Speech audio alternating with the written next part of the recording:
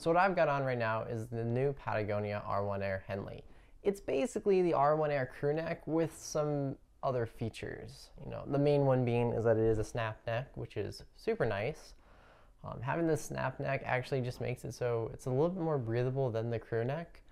It's actually a feature that I like a little bit more. Um, I didn't think I was going to like it. I kind of thought I was like, you know, it's, it's just more for style, but it's super functional. Um, going kind of just doing some like light hiking and maybe some bushwhacking.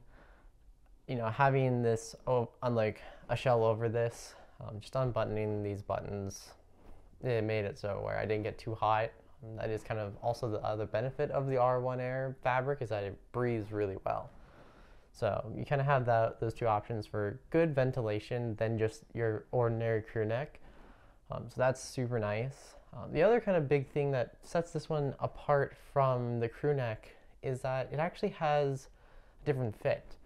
So the R1 Air crew neck is a slim fit, and whereas this, the R1 Air Henley, it's a regular fit. Um, so how you can kind of see is how the arms are a little short, but that's just, they're not bad actually. They're really a normal, with normal arms being down, they're fine. I'm a little bit weird because I got longer arms. Um, this is how it kind of fits all around. But you can kind of tell that there's just a little bit more room to this piece. And that's actually really nice. For whatever reason, a lot of the Patagonia R1 Air stuff, whether it's the crew neck, the quarter zip, or the full zip, I've never been able to really fit into them really well. They're always like tight in the chest, and I see a lot of uh, I see a lot of reviews on Patagonia's website talk about the same thing. They're just it's kind of it's kind of weird how for whatever reason this model of the R1 Air or just just the R1 Air in general is randomly tight in the chest and short in the arms. But this R1 Air Henley looks to fix that and they switch it to a regular fit and it's awesome.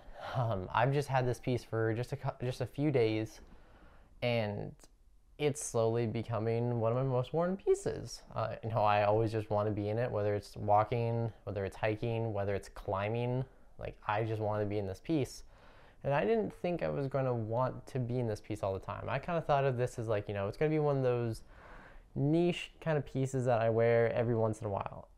But that turned out to be not true. This is probably right now, it's the only piece I've been really wearing a lot.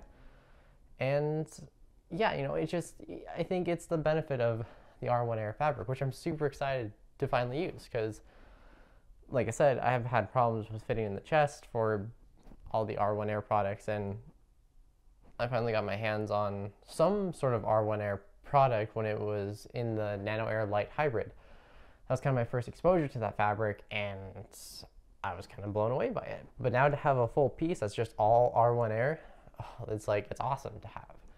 So yeah, so that's kind of the difference for the R1 Air Henley compared to the crew neck. I think the Henley is a little farther superior than the crew neck. Um, I think if you're looking at it, it's, it's a very stylish piece for one. Um, the three color options you get are really nice. I have um, the blue one, I'll put the actual name of the color down below. I know this one is called, actually don't know what this one's called. Yes, I do. It's called Fertile Brown. Okay, so you have Fertile Brown. I'll put the code to this blue one, and then you have a green one in which they color code that as Hemlock Green, I'm pretty sure. Um, the Hemlock Green one and this blue one obviously are color paneled, so that's kind of an added benefit. Um, you get some color blocking, which is pretty nice.